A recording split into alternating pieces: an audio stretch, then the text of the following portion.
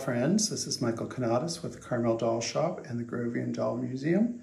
We are going to look at some wonderful candy containers from the collection of Miss Paula. Um, first, I should point out that the abundance of candies and sweets that we have today would be completely foreign to people of the 19th century, early part of the 20th century, and, and, and backwards um, to get a little sweet was considered a real treat and a delicacy. And because of that, the presentation of said sweets, whether they be hard candies or chocolates, was really to be celebrated as something quite special.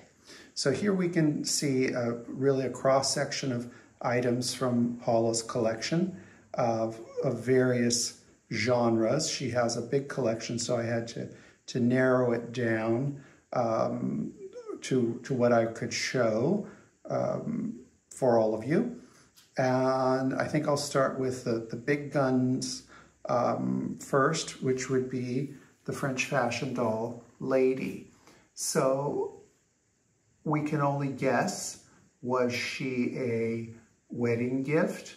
Was she a souvenir for all the wedding uh, guests received uh, such an item or special gift, gift for the bride. We do not know. Or it could even be a presentation for the ring because here you can see she's got a full upper body, but the lower body is the tube, and then the tube would hold this, this purple sack. And that's where the candies would go, uh, which I, I think it's a, a definitely a candy container, but it could be used for other things too. And she's a beautiful uh, Gaultier doll with a wonderful, oh, probably 18, right on 1880s wedding dress. The next piece we'll have a, the next piece we'll have a look at is this wonderful boot.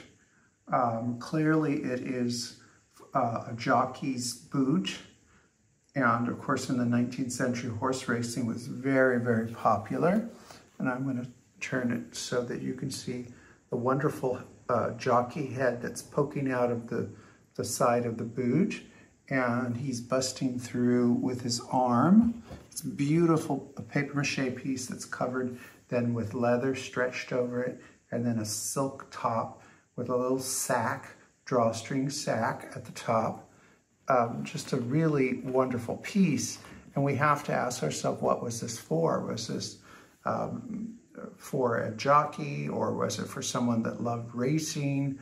Uh, would it have been a special piece for a, a, a celebration? We don't know, but it, it, really is a fabulous piece. And because of the French arm and the French head, we can assume that this was a French product where most of the, the items in the candy container line uh, we, we usually associate with Ger German.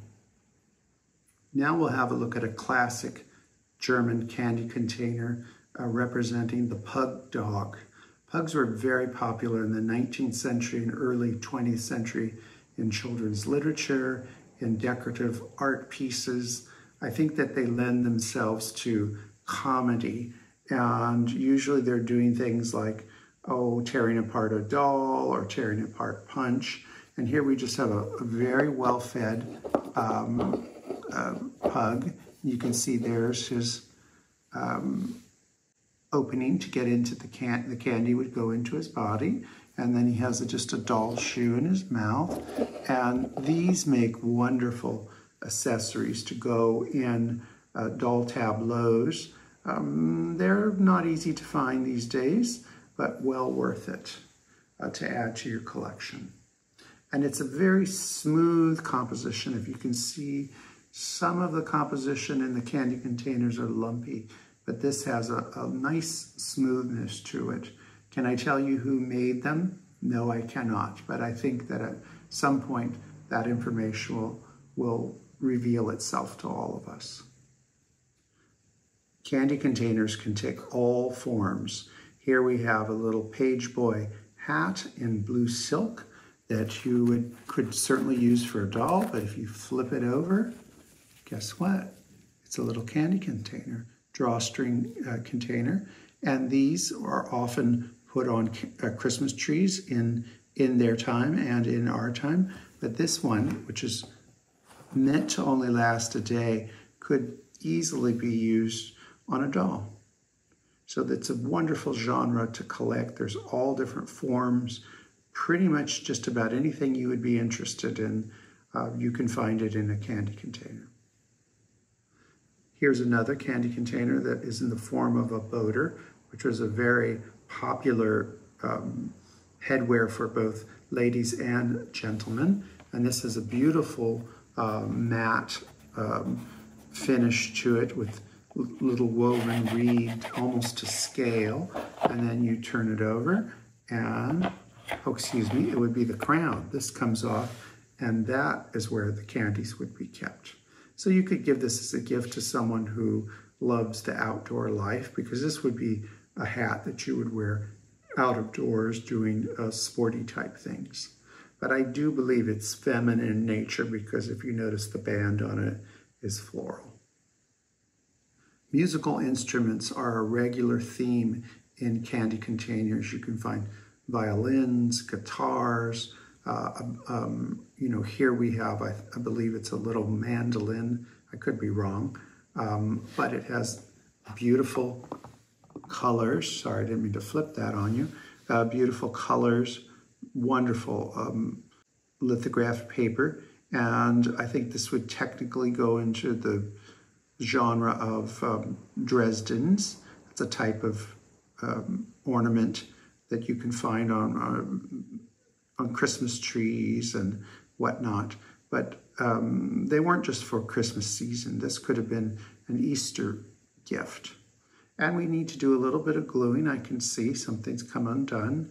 And as one wise person told me many years ago when we started to collect, her advice was to us was learn to glue. Kitties were a very popular subject matter for candy container makers. Here you can see we have our Easter cat that is hatching from an egg which I, uh, that's news to me, but evidently you can hatch kittens out of eggs. And it's a very beautiful piece with a wonderful little face. And it's trying hard to shake that little shell. And then the candy would be stored into the, the egg part. And then we have kind of an unusual black cat, which we don't see black uh, cats in candy containers too often because the black cat has been unlucky for um, many centuries now. But clearly this is a little girl cat because she's got a, a mop cap on and a little blue bow, which blue was the feminine color of the 19th century, pretty much most of it. And the candy, again, would be stored up in the, in the head and this little opening would open and you could fill it with all kinds of candies. Cats and dogs are a very interesting genre to collect in candy containers. I think that this frog candy container is perhaps one of Paula's rarest candy containers in her collection. Not only is it a rare figure, it's in outstanding condition, almost like it was made and then put away and it's very naturalistic. Now, why you would give someone a frog as a gift with candy in it, unless you're perhaps Cinderella and this is a wonderful prince, we don't know. But maybe it was uh, for a boy that loved the outdoor life. There has to be some significance to it, but we're not really sure. And again, this is composition. It's a beautiful quality material, very smooth and very finely painted with the classic little glass eyes. But a great little piece. And of course, this is for someone who has a little sense of humor because you don't really expect to have candy in a frog. I would assume that the candy would be then hard candies and probably green. some of the most beautiful candy containers that you're going to find are going to depict the Easter Bunny. So here we have uh, three different types of bunnies. The center, we have the classic hare type bunny, Germanic, probably 1890s, turn of the century, hyper realistic. And this is a young bunny, not, not um, they do come bigger than this. So this, this is a fairly young life-size bunny, but beautiful composition that's flocked. Again, these were not made to be here 100 years later. So, you know, you will find on uh, these types of candy containers, you'll find repairs and ears that have been put back on. It's a very um, primitive type of, of paper mache composition, but they are beautiful and I think very festive for the spring season. Then you have uh, a German, German doll, little child doll, riding a plush covered um, bunny. So this would be a really large bunny if it were in real life with a just a cute little um, simple German head. Again, these were not an expense, this, this particular piece, they were not expensive, so they had simplistic little legs and whatnot. And um, not the greatest definition of, a, of features on the rabbit, but again, very charming and fun to collect, available uh, out there, but not as much as they used to be.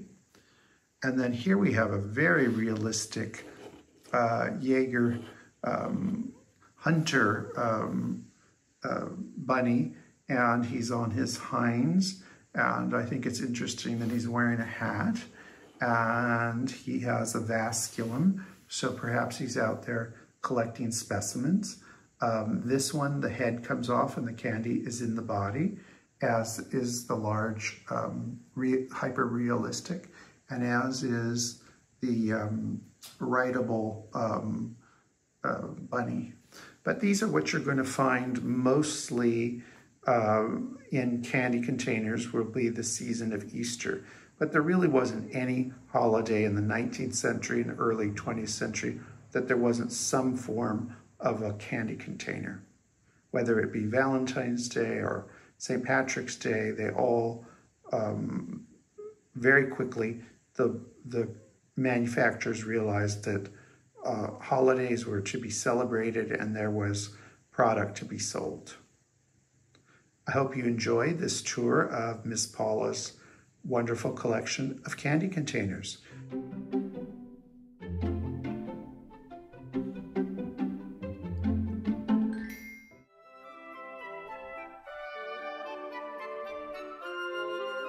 Remember to like, subscribe, and hit that notification button.